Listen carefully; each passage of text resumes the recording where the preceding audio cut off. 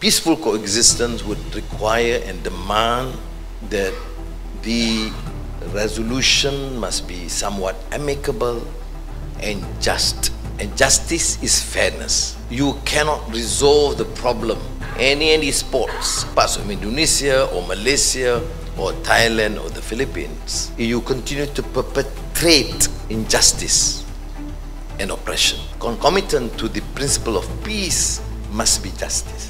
So in our deliberations about peaceful coexistence is the spirit, reviving the spirit of humanity and seeking an amicable resolution, not uh, insisting on one particular view, but to be able to listen, appreciate the concerns of the other.